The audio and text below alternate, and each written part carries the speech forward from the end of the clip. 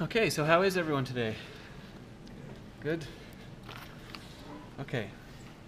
So last time uh, we were talking about uh, interest.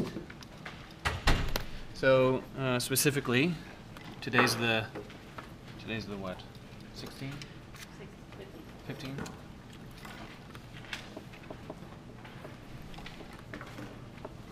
So last time Last time we, we discussed two interest models. One of them is simple interest.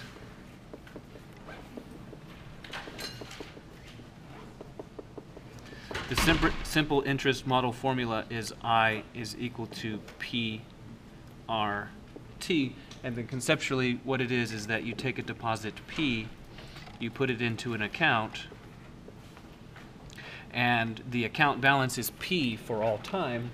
And what happens is that every time uh, an interest payment is, a, is, is assessed, then it is like you get a payment of I in the mail, uh, like, like, like in a check. But this is not the way it happens in, in real life. Uh, what, what, is, what is the real life situation usually? It's compounded, right? So instead of, instead of this payment sort of le- leaving and never coming back, what happens? Yeah, I guess put back in into the account. Okay, so that that uh, that situation is called compound interest. Compound interest. Its model is A is P multiplied by 1 plus R over N to exponent nt. Uh, in this case, in this case, what happens is, uh, sort of conceptually, is that at the initial time you put in a deposit of P, and the amount that is actually in the account is changing because every time interest is assessed from on, on the account, uh, you can think of it like the money, the, the interest payment briefly goes out uh, and, and, and comes back and is deposited in. So this, uh, a, a simple interest account, the, the account balance is constant for all time, and then for a compound interest account, uh, it's, it's changing in time. So let's see why, uh, why this should be the, the formula. So specifically, let's consider uh, an example. It says, okay, suppose that we uh, put, say, a thousand dollars into an account.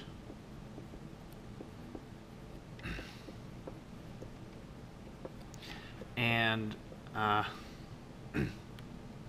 and what happens is is that after let let's say uh, at the end of every month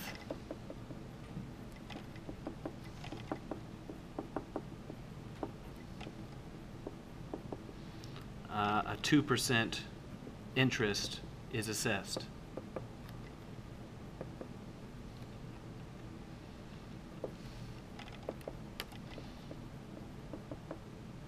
So specifically, that means that at zero months, that is to say, when, when, you, when you first um, deposit, the account balance will be a thousand. Okay. Then, at, at one month, when the first interest payment is assessed, what will the new account balance be? Not 1,200. Nearly, but you're off by a decimal place. 1,020, right? Because the new account balance is going to be the previous account balance plus 2% of the previous account balance, which is to say 1,000 multiplied by, uh, well, if we want to represent 2% as a decimal, what do we have to write?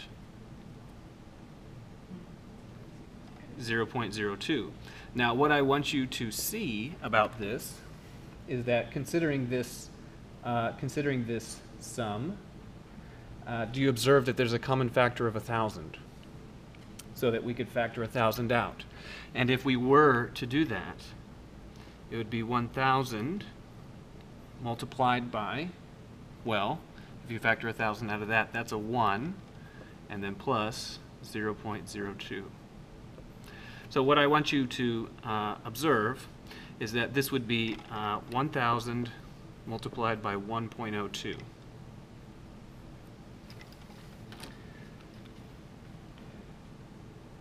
So that means that at the end of one month, you have 102% of what you previously had. 100 because you didn't lose anything, and 2% more, well, because that was the interest. And then if you multiply this out, that's um, uh, that's 1,020. So at the end of the second month, so now interest will be assessed again, but now what what's going to happen is that interest is going to be assessed on on uh, the 1,020. So you could think of it like, well, as a result as a result of the interest in the first month, we got a $20 payment. Now, is the is the next interest payment going to be twenty dollars? Why not? Right, because now it's going to instead of being two percent of a thousand, it's going to be two percent of a thousand twenty. So the interest payment is going to be a little more. Okay. Well, in particular, I'm going to write it like this. Uh, instead of, it, the, the, the value is this, but I'm writing it like this. On, I'm going to write it in this way on purpose. So what we'll have is we'll have this same amount, and then we'll have that same amount again, uh, and 2% of it.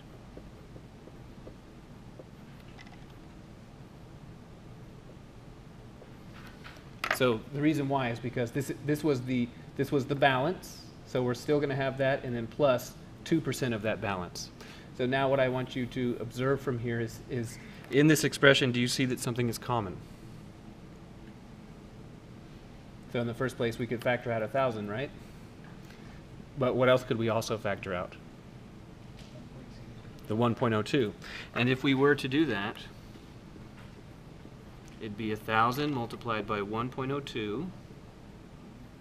And then uh, if you factor that out of this first term, that'd be a 1, and then plus what?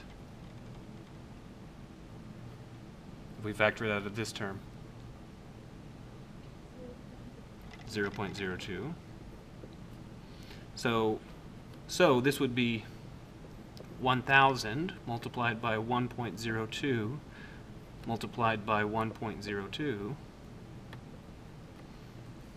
which of course you could write as 1000 multiplied by 1.02 squared.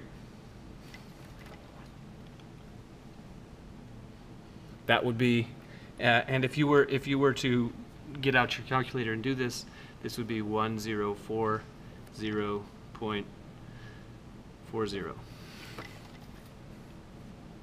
Okay, so then the new interest payment, the, the, the, the, the second interest payment uh, would have been twenty dollars and forty cents. Let, let, let me make sure that I did that right. I'm not sure that second four is in the right place. My brain is kind of off.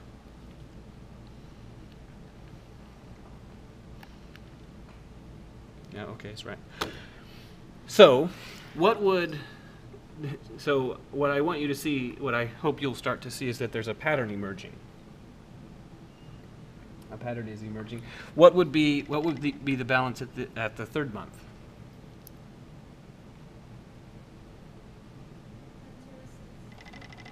Well, not not this. What I want you to see is is a pattern uh, is a pattern here. So this was the amount, and then this was the amount.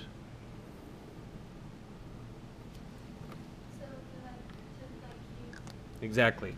So for this one, it's going to be 1,000 and then 1.02 cubed. Whatever that, whatever that turns out to be.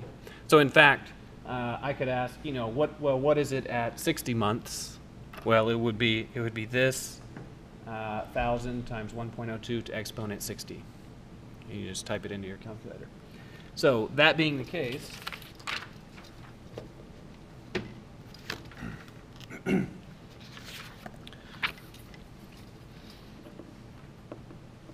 if we give names to all these values, if we say that P is the principal, uh, principal, that R is the uh, interest rate.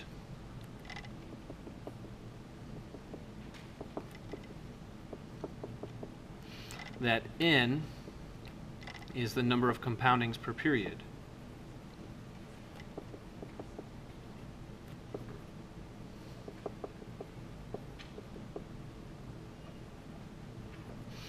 Uh, and that T is the number of periods.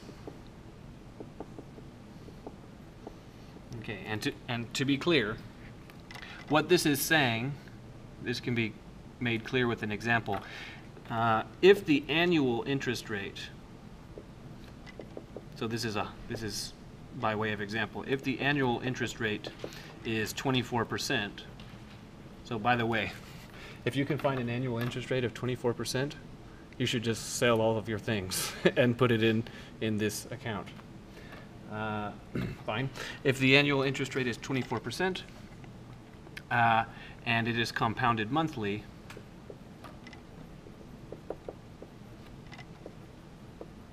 what does that mean? That would mean R is what?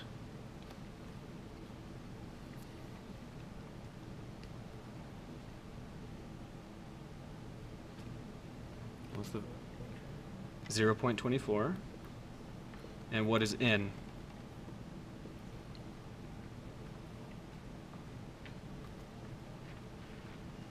So the fact that it says annual interest rate means that the period is one year. Period is one year. So if the compounding is monthly, then what's in? 12. Because how many months are there in a year? There's 12 of them. Okay, so un understand what what this means.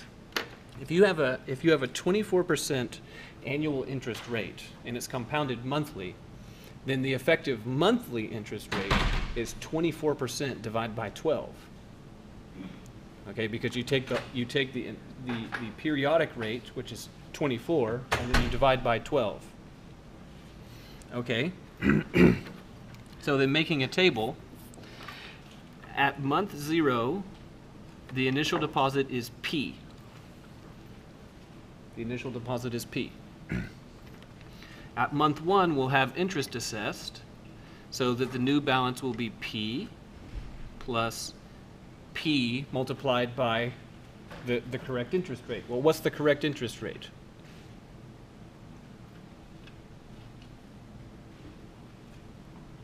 So, in, in terms of these numbers, uh, would it be, am I supposed to put an R here?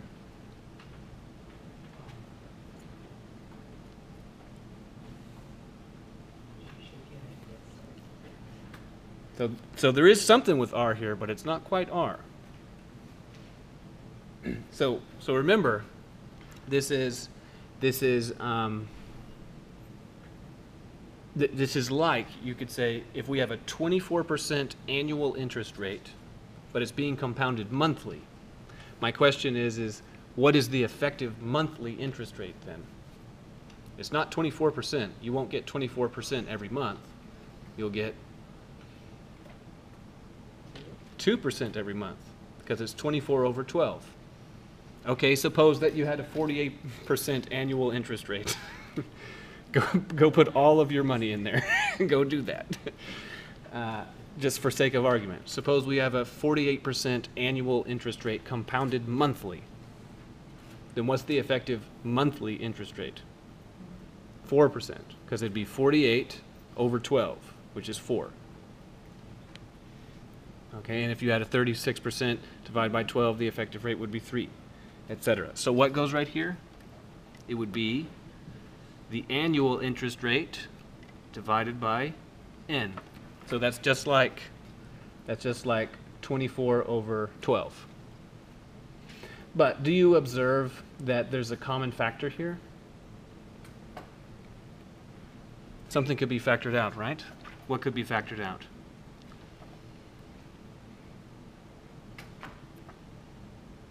A p. So if we did factor out a p, what goes in here? yeah, 1 plus r over n. Okay, so then this would be the new balance. So this is like on the previous page where we said 1.02, 102%, like on the previous page. Then at the end of the second month, uh, we would again have that much, p multiplied by 1 plus r over n, and then we, we would take that much again and multiply it by the effective interest rate, which is r over n. And do you observe that in this expression, we can factor out things? So what can be factored out for this one?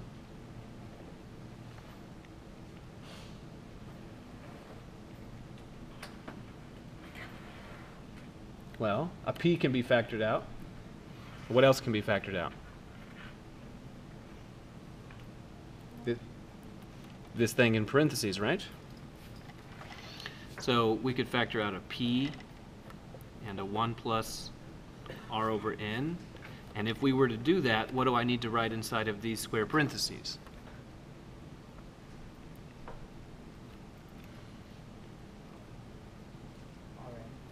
We'll, so for this, for the second term, we'll need r over n, and then 1 for the first one. Ah, so can you see, ah, it's 1 plus r over n again. So, so this would be p multiplied by 1 plus r over n, and I could just write squared. Okay. so, if, if we come down to, uh, say, uh, like 8, what, what, what will be the, the answer?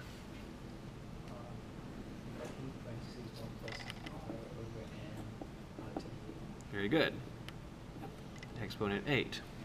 And if we go with the, with the specific case, if we go with the specific case uh, that, that this is, uh, that R is an annual interest rate and this is a number of months, so if, I, if this, so if I say that this is month zero month, uh, one month, two month, eight. If I come down to here and I say, well, what about, what about at, say, year uh, three?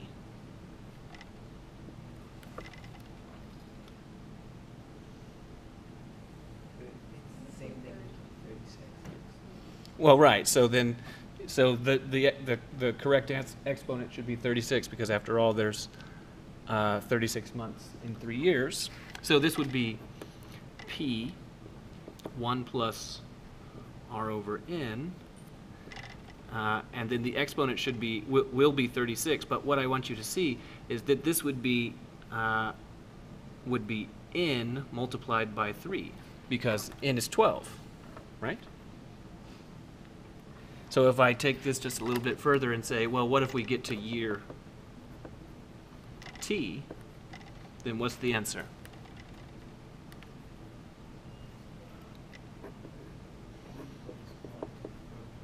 Or NT.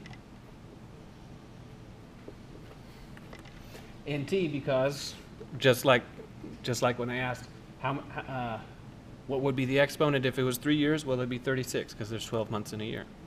If it was two years, well, it would be nt. Good. So let's uh, let's do an example. One of these. so, for example.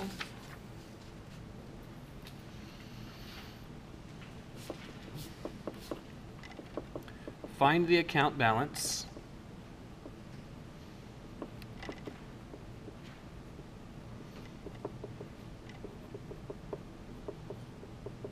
after five years uh, if the initial deposit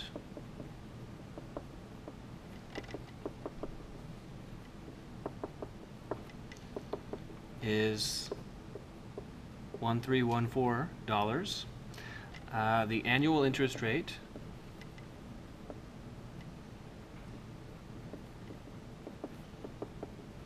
is uh, how about um, 4.8%? And it is compounded monthly. Okay. So we are, um, we're doing an interest problem, evidently, uh, but we have two different interest models. We've got the sim simple interest model and the compound interest model. Which one uh, is going to be used in this exercise? The compound interest model. What is your clue? well, the fact that it says compounded monthly, right? Good.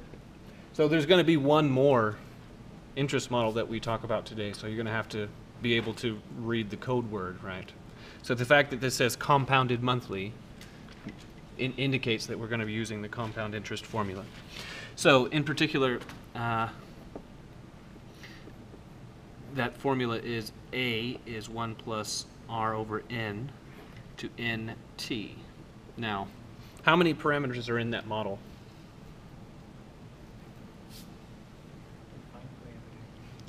Letters. Not th things that are varying. There's five of them, right? So what I want you to uh, to to remember is that when you're given a model and a question about it, the only way that the question can really make sense uh, is if I give you all but one of them, all but one of the parameters. So I must have given you four things, uh, and, and, I, I, must be asking you for the, for the last one. Right, so then let's write them all down and, and see what, what, what we have. So uh, P, is this, was this given or, or is this what we are to find?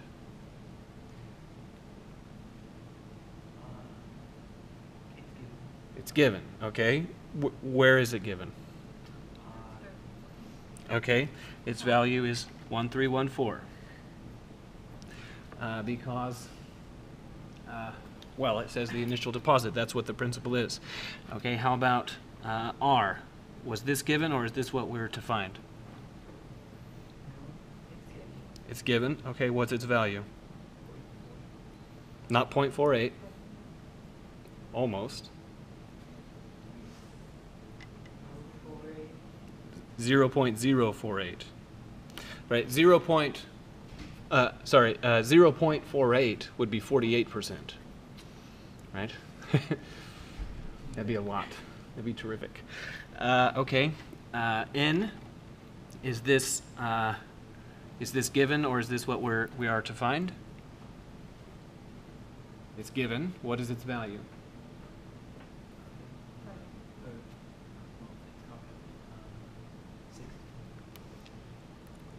So n is the number of compoundings per period. So it's 12. 12, right? So then, so then if it said compounded weekly, then what would n be? 52. And if it said compounded daily, then n would be 365, unless it's a leap year. Uh, if it said fortnightly, it, it, that a fortnight is two weeks, but then what would n be? 26, right? okay, so you gotta, you know, I'm, I'm gonna try not to be exotic with the with the adjectives, okay? But you've got to be able to pick pick it up. Like if I say quarterly, what does that mean? N is four, okay? And and I'll never say I'll never say uh, uh, biannually or semi-annually and the reason is because uh, if do understand that those are ambiguous terms. So if you ever go to a bank or enter into a contract and part of the contract, or, or, or, just otherwise in, in, enter into a contract, if they say biannually, you, you need to tell them right there, I need you to write the number of months that you mean. Because, because if, it, if it's in because you can interpret it either way that's in your interest. You can say biannually means twice a year or every two years. Okay, so pay close attention to that. Little contract advice. Uh, T, is this given or is this what we are supposed to find?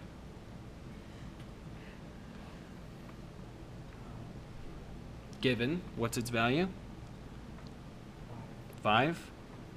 And then A, is this given or is this what we're supposed to find? Okay, how can, wh- what part of the story is saying that that's, that's what we're supposed to find?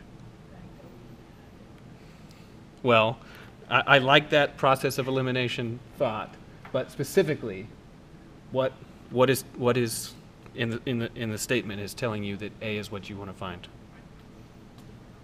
The account balance.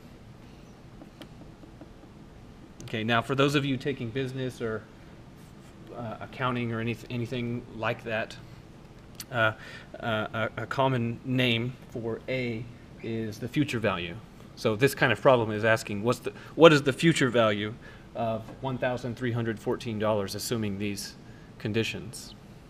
Okay, now, just as a brief check of your idea, uh, uh, uh, of, your, of, your, of your concept of this, are we expecting uh, A to be more or less or the same as 1,314? More. Why are we expecting it to be more? How could it be less? We're doing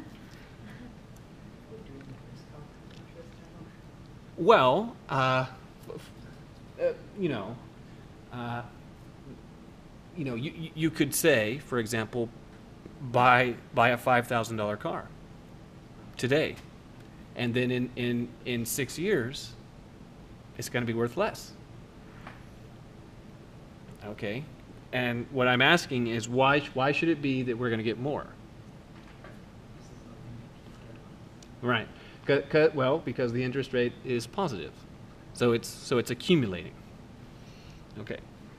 So, uh, in in this exercise, do you observe that, that that we have all but one, and we are to find that last one? Okay. so, so doing that, we have A is one three one four multiplied by one plus zero point zero four eight divide by twelve raised to exponent 12 times 5. Okay, so then I recommend if you have a calculator, see if you can get your calculator to do this right now.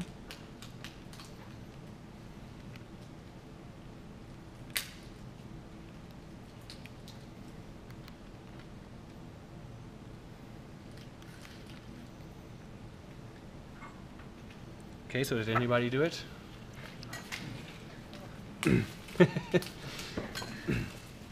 No one? I'll give you all a second. So, uh, while, while you're doing that, I'll show you the sequence of keystrokes I had to do to, to do it. So in, in, in my particular calculator, I typed 1314, then multiply parentheses 1 plus 0.048 divide 12 close parentheses caret open parentheses 12 times 5. So that's what I had to type into into this kind of calculator.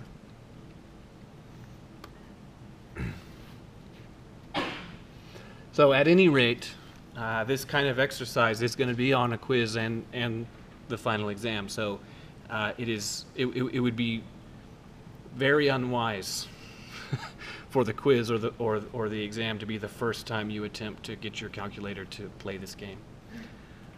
Okay, so then for those of you that did it, uh, what'd you get?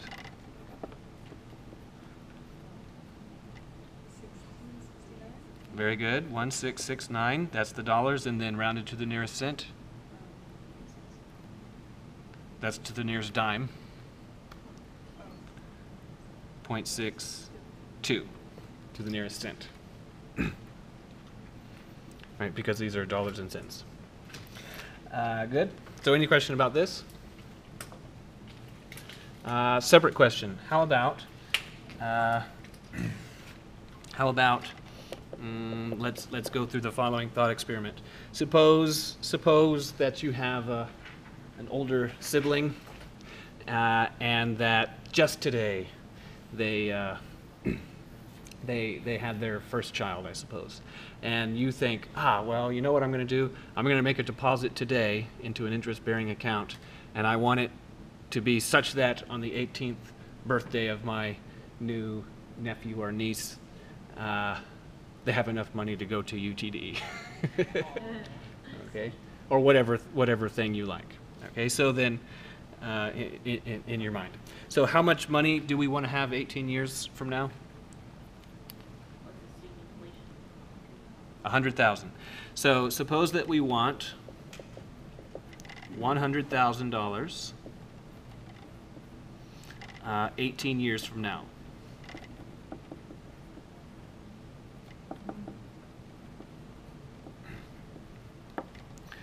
Uh, uh, and suppose furthermore that we have, uh, uh, um, what am I trying to say? An annual interest rate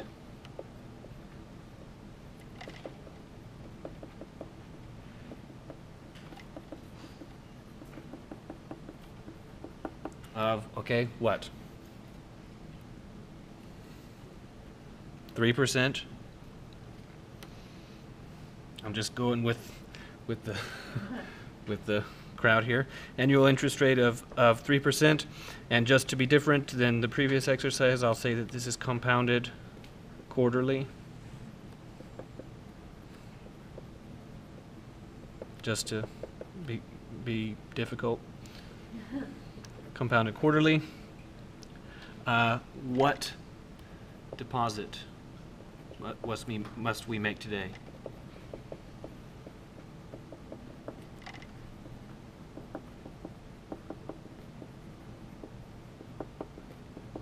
So now, uh, again, for those of you who are taking uh, business or or or that kind of class, uh, the name the the name for uh, one hundred thousand dollars is uh, is a is a future value, but you want to know. But the thing is, is that this one hundred thousand dollars is located eighteen years from now.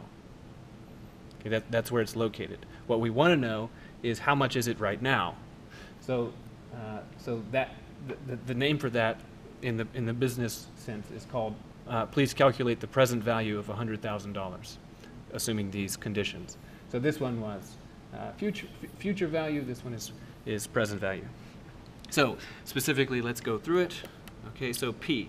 Are we given this, or is this what we are to find? This is what we are to find. This is what we must find. Uh, R, what's that? Yes? N? Four. Why four? Because it says quarterly. Uh, T? Yes? And A? 100,000. Okay, so do you observe that this is a five parameter model and I gave you all but one and you are supposed to find the last one? Okay. As a result, uh, we have the following 100,000 is p multiplied by 1 plus 0.03 over 4 raised to exponent 4 times 18. Okay. So 100,000 is P, and I'll do that bit in my calculator.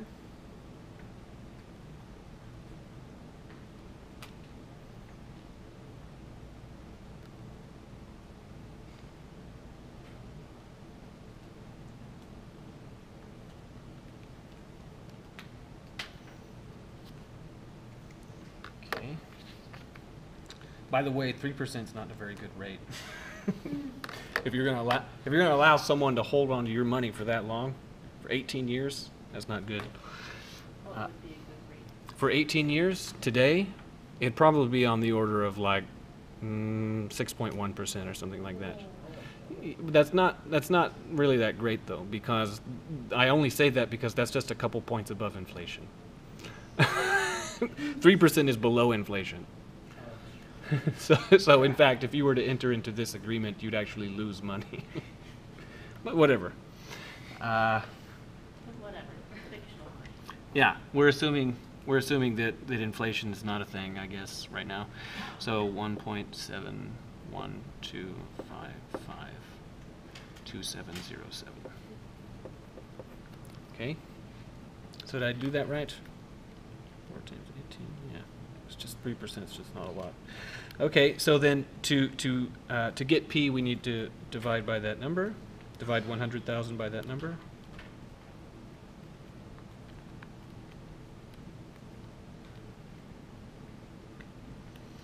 Okay, so then according to my calculator, that's fifty-eight thousand three hundred ninety-two. Rounded to the nearest cent is thirty-six. Is P. Okay. Well, what that's saying is that uh, essentially you can think of it like saying that um, $58,000 now, pre- uh, presently, is worth $100,000, uh, $100,000 18 years from now. Well, yeah, we're ignoring inflation, all the, all the effects of inflation. And if we were, if, if we were to, really quick, just as a matter of, let, let, let's figure it out. So this is an aside. Let's look and see, what if, what if it, what if the interest rate were six percent? Okay, so then what if six percent? So I can answer this quickly because I can just change one little thing in my calculator. What if it was six percent? So uh, if the rate were six percent, would you expect that P should be more or less than this value? Less than. Should be less than, which is to say that it should take less money to for it to become hundred thousand dollars because we've got a better rate. Okay. If I quickly edit my calculator to where it's doing uh, that, then six percent. Uh, then the same calculation gives three four two three two uh, point well, a bunch of nines actually. So that would be two, three, three, and then zero, zero. So look at that. That's just a coincidence that doubling the rate caused this number to. Well, that's actually not half. So we doubled the rate and then and then significantly less money, right? Interesting. Any question about this kind of idea? Okay. So, um, fine. Let's let's go through a thought experiment. What I want you to imagine is that uh, I'm a bank, and that you're go- that that I'll I'll enter to, into an agreement for you to to put one dollar on deposit with me, and I'll give you a hundred percent interest rate. Uh, but this um, this this bank account must close at at one year. Okay. So if so, what I'm saying, uh, if you're going to deposit one dollar with a hundred percent uh, annual interest rate, and you're gonna you're gonna we're gonna close it after one year, then what what this says in the story is that what's the what is the P?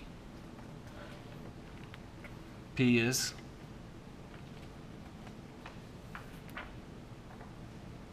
one. What's R?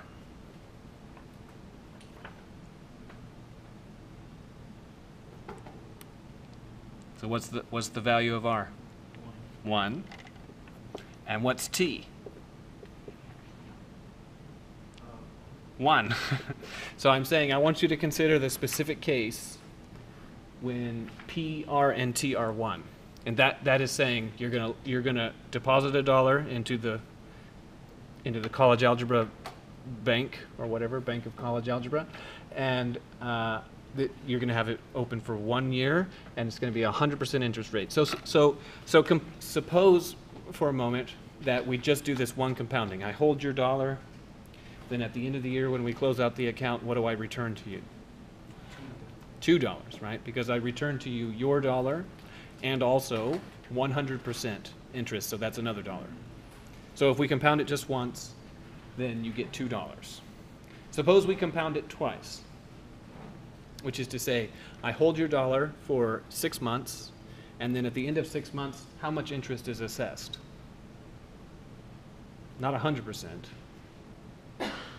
but how much?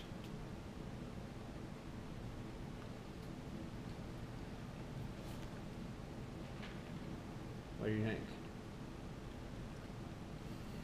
Fifty, right? Fifty.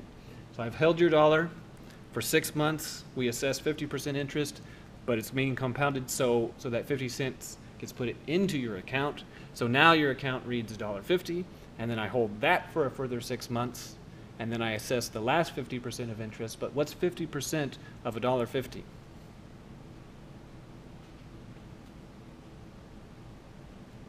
Seventy-five. Right? And then I add that into the account, and then we close it out. So then how much do you get back in that case? We're having arithmetic uh, bad day, huh? We need some. We all need coffee. So, so, I hold your dollar for six months. Then I assess fifty percent interest. I add fifty cents. Then you have a dollar fifty for six months. I assess fifty percent interest. That's seventy-five cents. I put that in your account, close it out, give it back to you. How much is that? Two twenty-five. Do you notice that that's more than two dollars? Yes.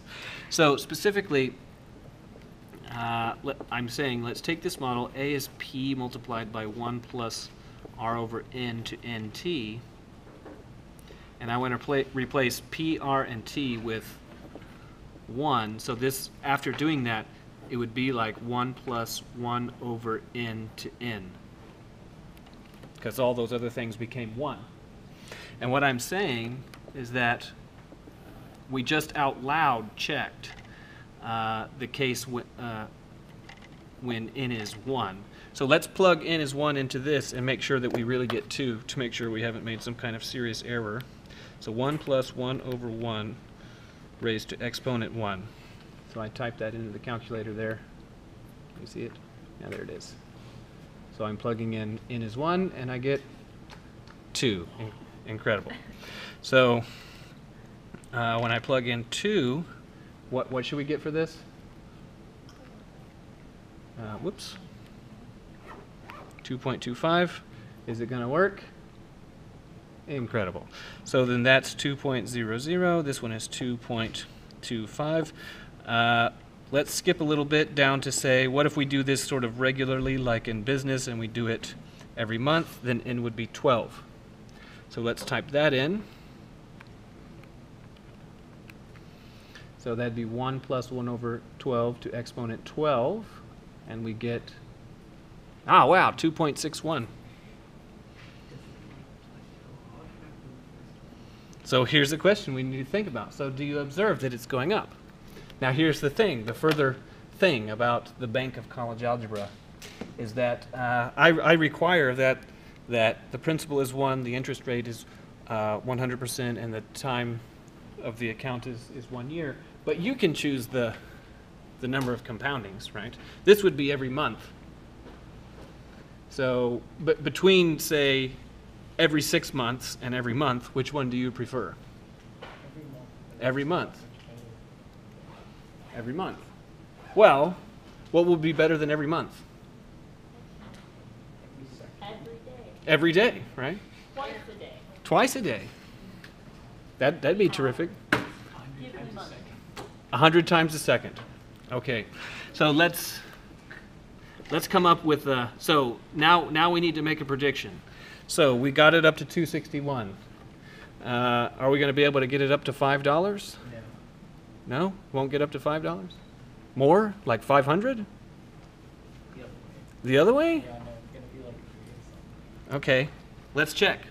So how about I'll do a 1 with 9 zeros.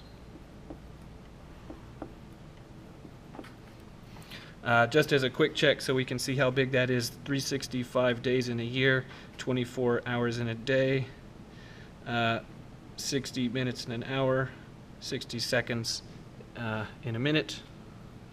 So, so that is the number of seconds in a year. So that's on the order of uh, what 31 million. So this is a billion. Okay, so this is this is many many times a second. Okay. One, and then one, two, three, four, five, six, seven, eight, nine zeros raised to exponent one, and then one, two, three, four, five, six, seven, eight, nine zeros. Okay, so I typed it in carefully, and we get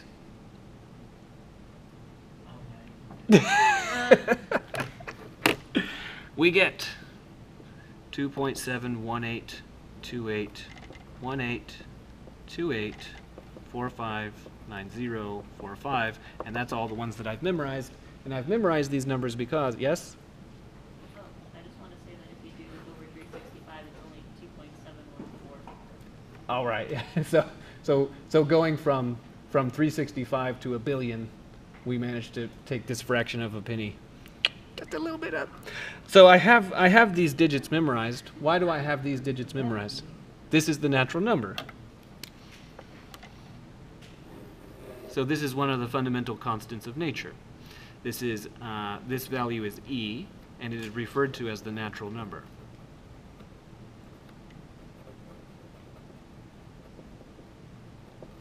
So, to, to put that into context, uh, to put that into context, if uh,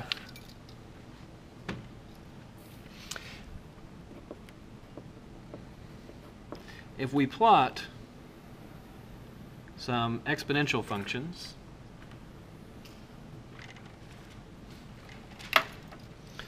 uh, then every exponential function will go through the point 0, 1.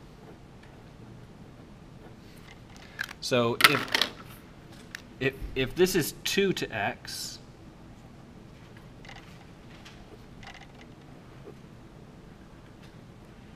so if that's 2 to x, then uh, if, I, if I start drawing 3 to x, 3 to x will also leave this point, and where will it be? Will it be over or under this one?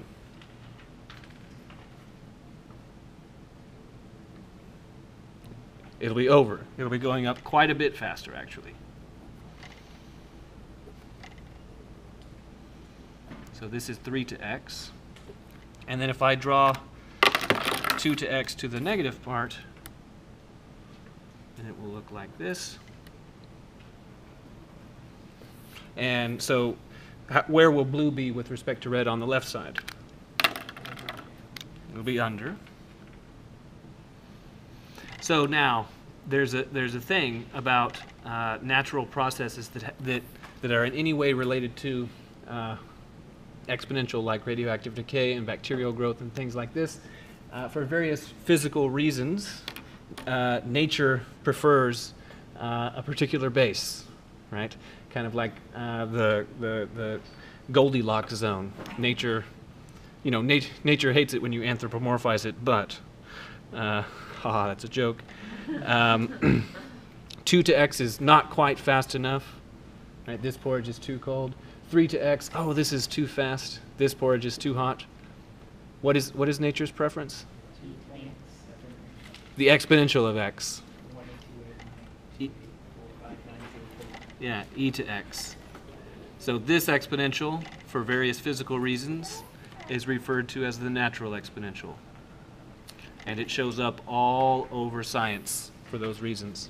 It like part of the Fibonacci? It, it's well, there's there is a constant that's that's related to Fibonacci, but that's a different number called the golden ratio. Ah, Okay, so have a nice Wednesday.